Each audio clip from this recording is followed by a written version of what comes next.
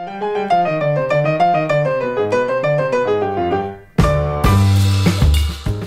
hello, darlings and welcome back to my channel.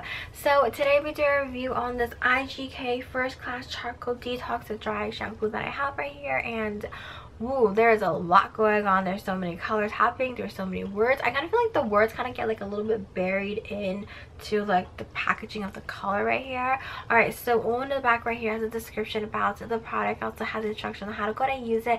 Along with that, of course, per usual, does go ahead and have the ingredients. And for those of you guys who have never heard of dry shampoo or don't even know what dry shampoo is, dry shampoo is supposed to help get rid of like excess oil that is on your hair. So say for instance, you wake up one day and you have like really greasy or like really oily hair and you want to go ahead and wash your hair but then you can't because you know you're running late for like your work or school or like for like a special event. This is where dry shampoo actually goes ahead and comes in handy. So how do you guys use dry shampoo? So you're supposed to go ahead and give this like a really really nice good shake and then you're supposed to go ahead and section your hair into different sections and you're supposed to go ahead and spray it on. So when you go ahead and spray this on it doesn't have any color but then afterwards when you go ahead and wait 30 seconds it does go ahead and start to turn a little bit white and then you're supposed to go ahead and like gently like massage or like rub into the product into your hair.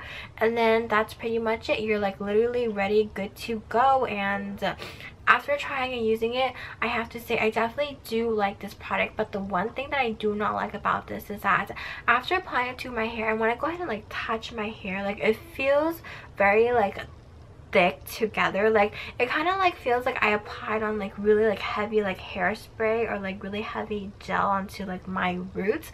But other than that i really like this product.